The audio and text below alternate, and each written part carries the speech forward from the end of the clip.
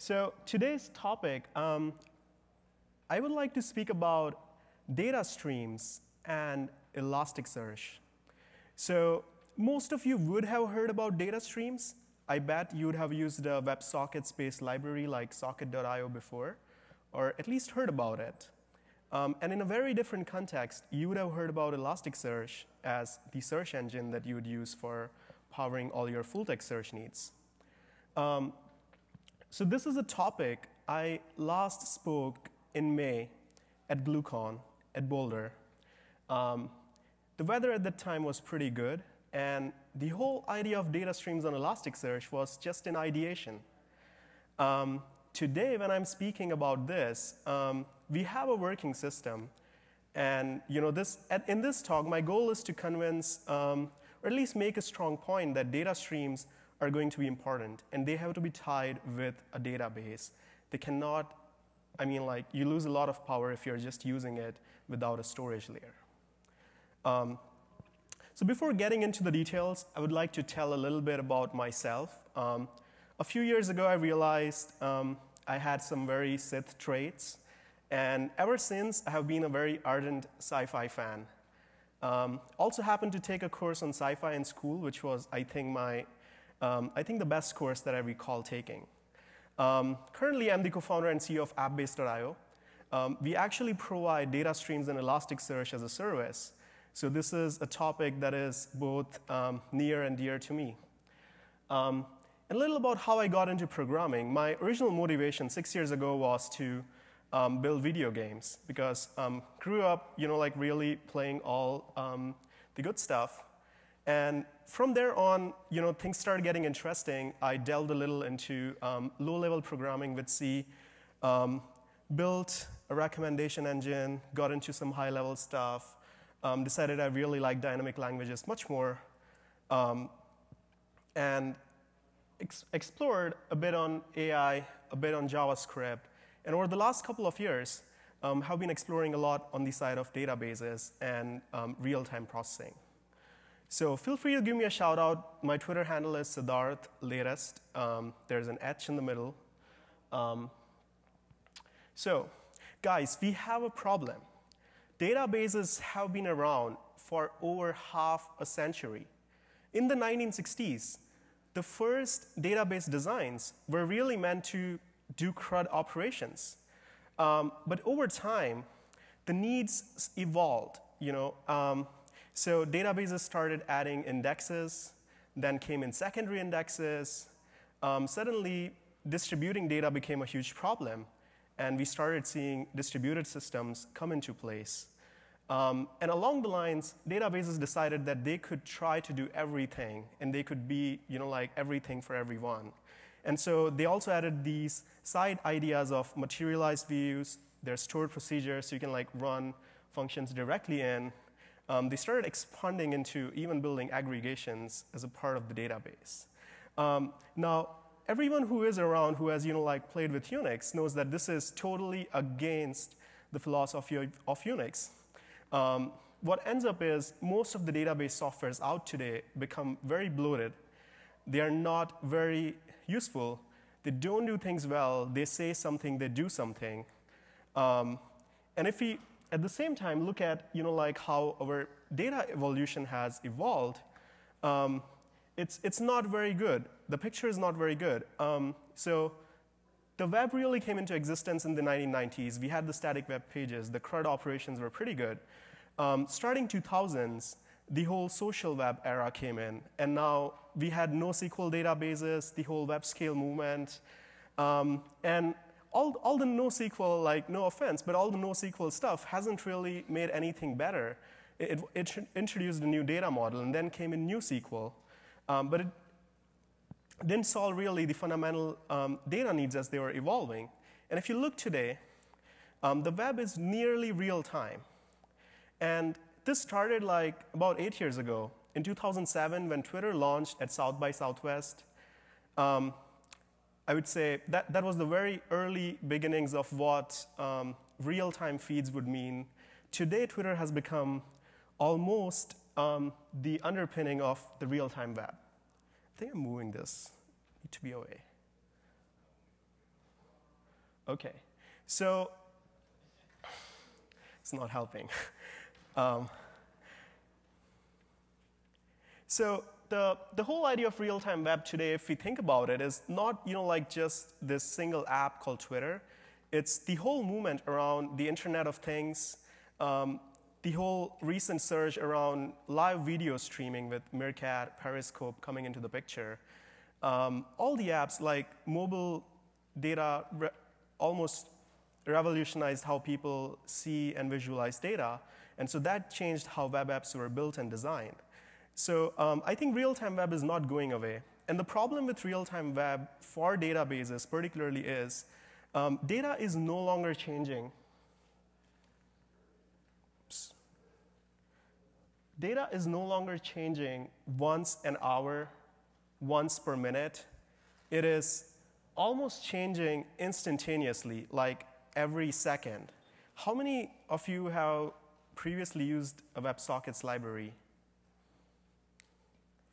See quite a few hands. And how many of you have used Elasticsearch before? Well, almost half, half the place. So that's pretty good. So, um, the, so most of you know about the ideas here. And, um, okay.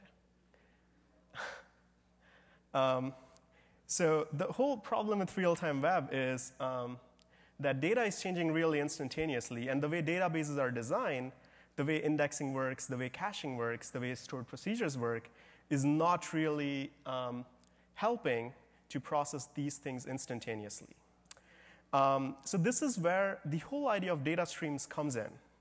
And the first time I talked with my, you know, like non-geeky friends about a streaming data or a streaming database, um, they start thinking about Netflix, um, streaming videos. Um, which, which is funny, but I think it's, it's not too bad. Um, because if you think about it, um, the whole idea of streaming videos is really to broadcast content um, to a lot of people, which is one of the biggest challenges out there. But databases are more than just streaming binary blobs. Um, you can actually operate on the data if you know the structure, and you can run these queries or run operations on top of it um, in a streaming fashion, just like you'd be watching a video.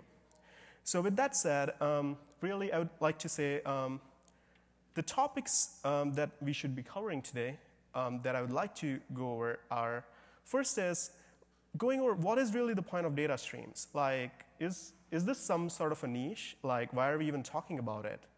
The second part is using Elasticsearch, why do we decide to use Elasticsearch to power these data streams? And after that, I want to show a live demo that I just made this morning. So I'm really hoping it works out. Um, not sure how the demo gods are today for everyone. Um, and then after that, really um, going over the use cases of where we could be seeing data streams um, on the timeline. If you were to build your own system using Elasticsearch, how would you maybe do that? Um, maybe if you wanted to build it with another database, how you would do that. Um, what does the scale look like? What are the problems there? And um, how does the next four or five years look like? So we already use data streams. Um, so if, if you go to Twitter and if you like um, type a keyword, um, and you would see that Twitter shows you like new results um, almost instantaneously. If you wait there, it would like show you that there are 15 new results. And if you look at Google Now, um, the whole idea with Google Now is it can recommend you what is the next blog post you should be reading about, uh, what is the next trip that you have to go for. It pulls in data from all these sources, but the fundamental idea is it predicts what you should be doing. The data sort of comes to you, you are a consumer versus you are an active seeker of the data. Um, so we are already using data stream systems, whether we realize it, whether we call it as data streams or not um, we already are familiar with it. So I would say this, this is like data streams are pretty important. And you know, like if we are already using it, then how can we build more open source toolings? How can we get the idea more mainstream? And how can we do more things with it? Um, the second point is really interesting, which is Elasticsearch. What's really the connection between data streams and Elasticsearch? Because um, everybody knows Elasticsearch as this awesome distributed full text search engine which is based on Lucene. It can really scale well. but it's really geared towards analytics. It's oriented towards documents. Um, it has a good thing, it's open source, and it's, I would say, probably going to be one of the most widely distributed systems going down the line, uh, maybe even more than Mongo. Um, so Elasticsearch has this really neat feature called percolation, which has nothing to do with its uh, full text search capabilities, uh, which if you think of it, it's, it's almost like search in reverse. So the way percolations work are, I mean, visualize this picture. Instead of how a traditional data storage system works, which is it takes data, indexes it into a base, you run queries against this base. There, there are indexes on this data that matches the query, you get the results. Percolation almost works in reverse. It indexes queries, it doesn't index data, Data can be thought of as an incoming stream like JSON as depicted on the top left. Um, and every time a new data comes in, it is matched against the queries, and the results are shown as like this data matches these many queries. So if you think of what it takes to build a data stream system, which is the first part is data is coming in real time, whether it is sensors, whether it is a Firehose source like Twitter, um, it is almost coming in real time or whether it is logs, and you have to act on this data and you have to produce results um, that tell you intelligent things about this. Um, so percolation is an ideal fit, and the reason we picked Elasticsearch was, you know, for the whole percolation feature. It also helps that percolation is distributed, so it doesn't really have any scaling problems. Um, so without further ado, let's look at how percolation works in practice.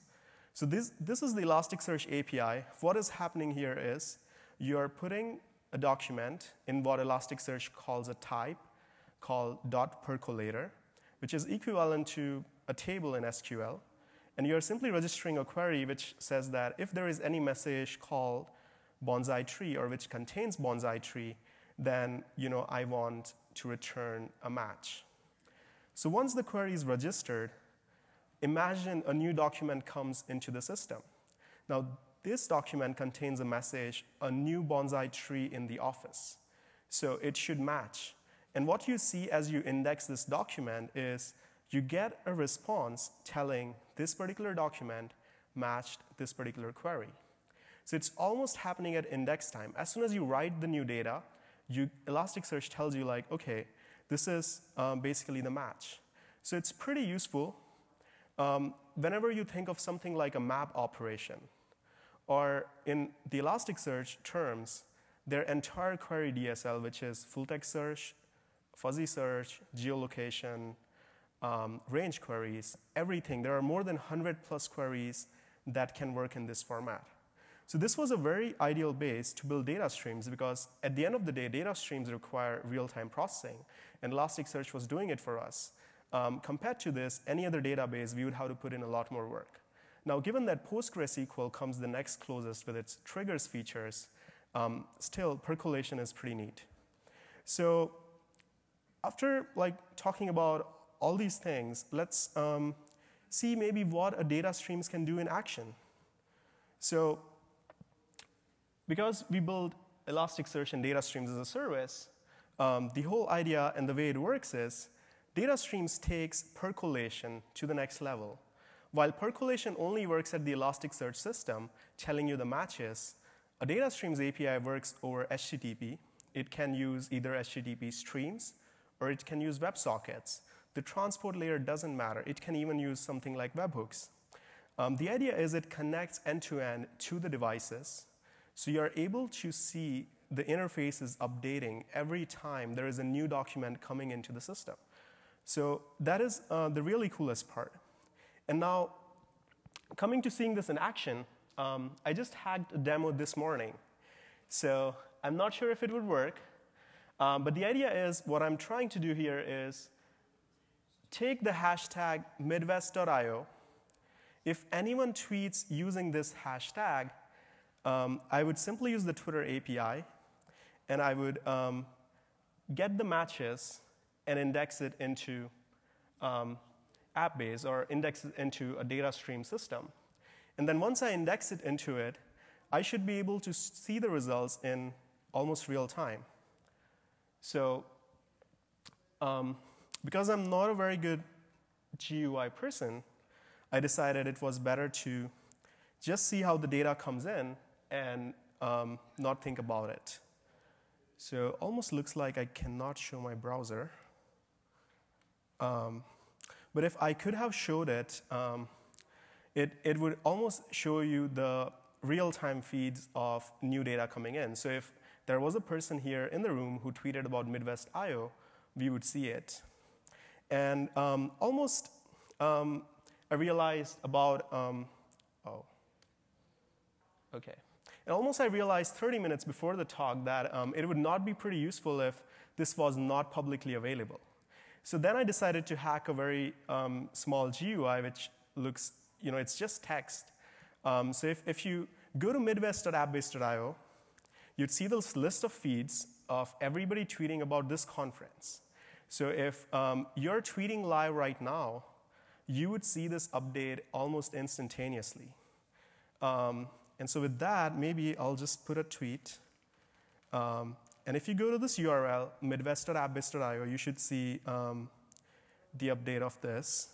So let's take a picture of the room. It's awesome.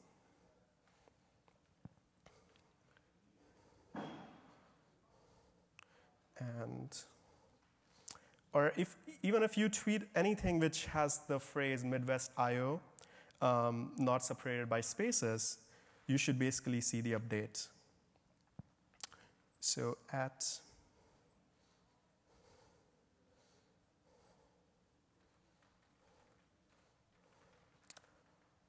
Okay.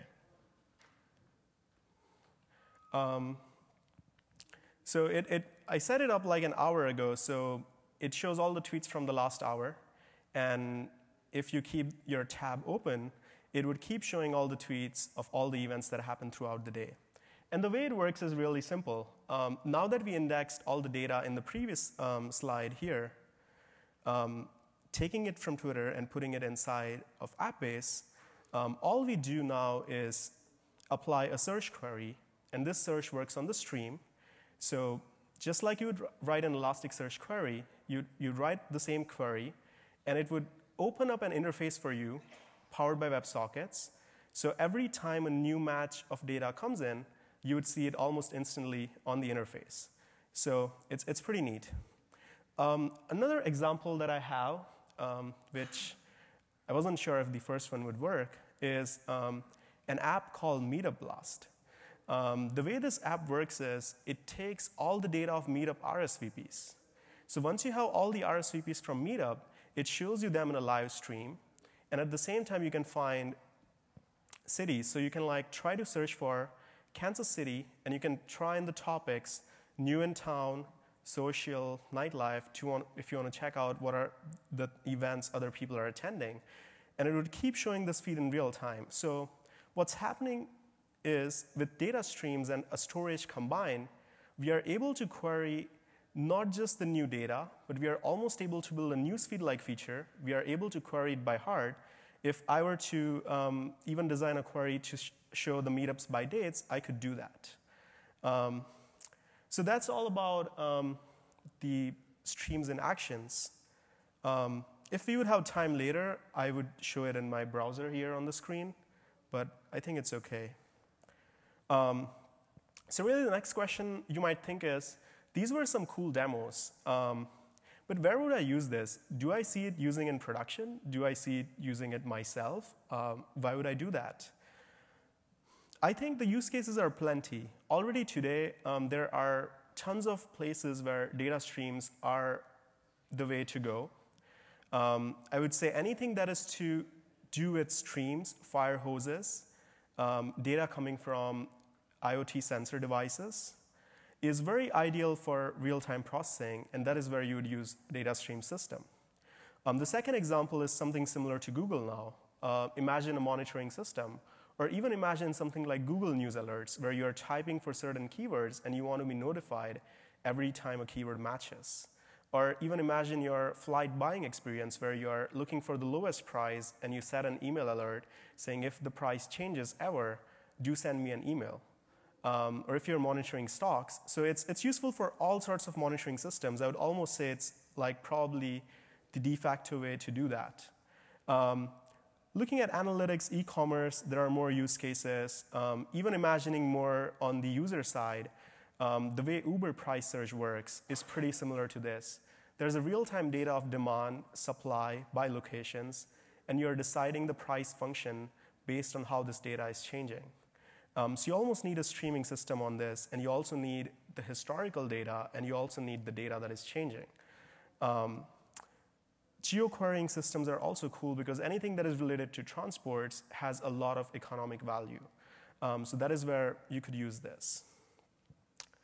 Um, so after the use cases, really, um, if you were to build it yourself, like let's say you picked Elasticsearch, you took percolators, you added a WebSockets layer on top of it, how would it work? What would really be the scaling challenges?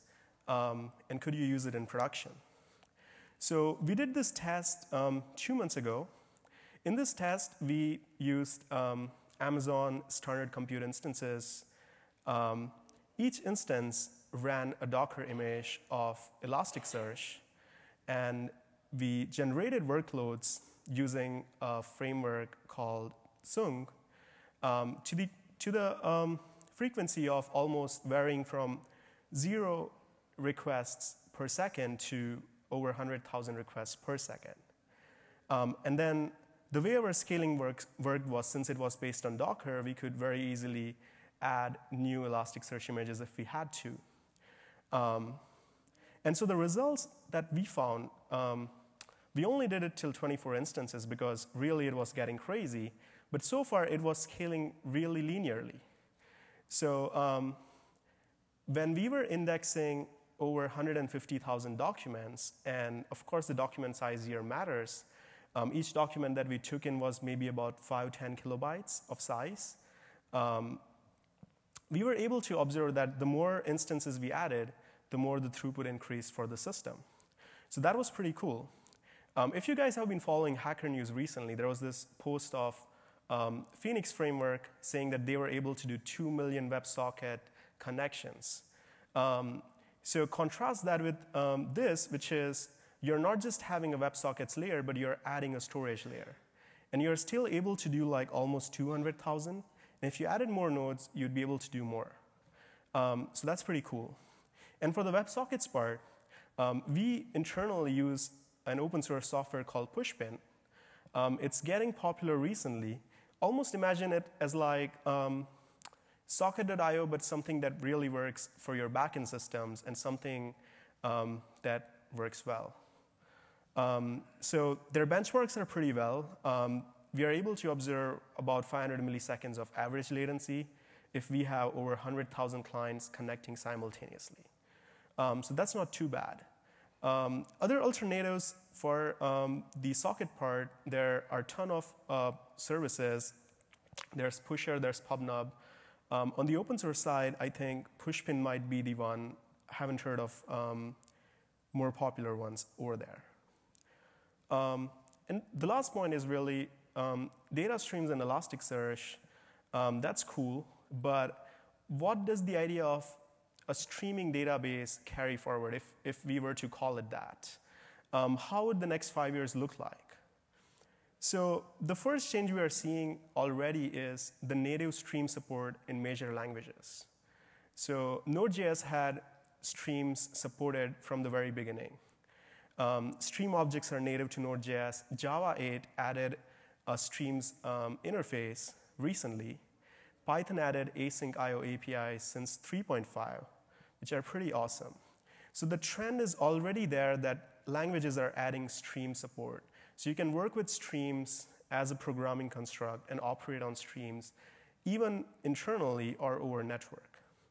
Um, the next part is really what would the adoption of data streams for a database layer look like? So we did, we, we did this experiment with Elasticsearch, where we are um, doing data streams on Elasticsearch, but why couldn't it be done on any database? Um, I think we would start seeing this trend more and more often. There's actually a couple of companies trying to do data streams on uh, Postgres. Um, there's also some movement around the HBase system. So I would say pretty positively that either all databases would adopt data streams as a native interface for not just ingesting data. A lot of um, databases today claim that they can ingest streams. Um, that's cool, but can you also support an interface that other programs relying on you can work with streams? Um, so that's not really happening today, but I think five years down the line it should happen. Um, the really big idea is um, can we use data streams for everything? So this is really coming from a very um, Lambda architecture fanboy argument that why don't we use data streams everywhere? And I think it does make a lot of sense. There's already a lot of movement. Google built the Dataflow model, I think, last year. Um, it's getting fairly popular. There's Apache um, Spark, which supports streaming, which is not truly a Lambda architecture because they do micro batch operations. Um, but there's still Storm. There's a lot of movement going in Samza. If you look on the backend processing systems, there's a lot of movement going in this um, direction. And there's also Apache Flink, um, which had their, they had their first um, FlinkConf a few weeks ago. I think they would, they would be doing pretty well as well. Um, so I think down the line, really, can we, um, I, I, would say like data streams would become a part. Um, obviously, batch processing wouldn't go away, but data streams are a lot cooler when you think of communication. Because instead of being an active seeker, you are a consumer and you simply act on this. It's um, very decoupled architecture. Um, so that's kind of um, the end of the talk session. All right, so I'll be around um, later on if you guys want to catch up on um, any of these topics. All right, thank you.